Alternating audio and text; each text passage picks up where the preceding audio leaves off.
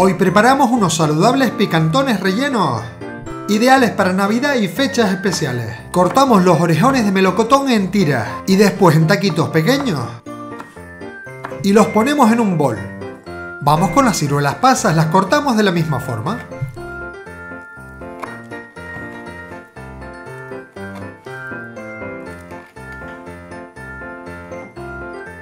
Le añadimos las uvas pasas, no hace falta cortarlas.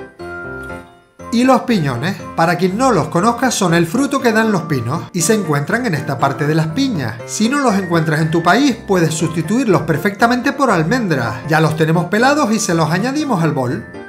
Una copita de vino dulce o también puedes usar coñac. Blancana revuelve todo bien. Lo vamos a dejar macerando al menos media hora. Pasado ese tiempo vamos a rellenar los picantones. Para quien no los conozca, los picantones son unos pollos pequeñitos que están deliciosos y lucen mucho mejor en estas fechas especiales. Los rellenamos totalmente por la parte de atrás. Una vez relleno, sellamos la abertura cosiendo la piel del picantón con palillos de madera. Es un poco laborioso atravesar la piel sin que se rompa el palillo de madera. Con uno o dos será suficiente.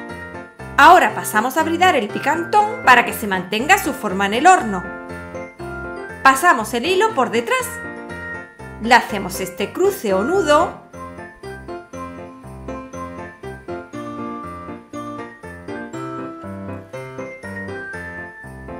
Y volvemos a darle la vuelta. Miro te pasa el hilo a la parte de abajo de esta forma. Fíjate bien, lo pasamos por detrás. Y ahora vamos a bridar las patas.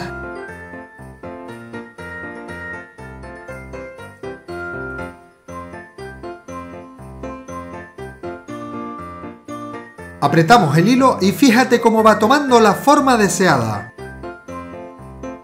No hay que complicarse demasiado, ya tenemos la forma que queremos, le hacemos un nudo definitivo.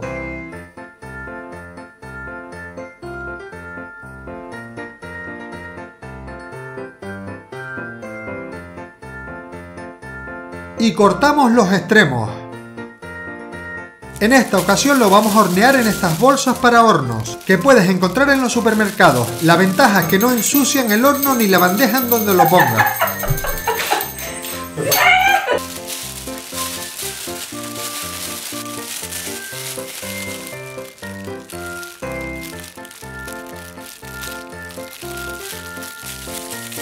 Le hacemos unos pequeños agujeros a las bolsas para que no exploten con el vapor que se va a generar en el horno. Y ponemos los dos picantones en el horno precalentado a 180 grados una hora y media aproximadamente. Pasado ese tiempo los sacamos. Cortamos las bolsas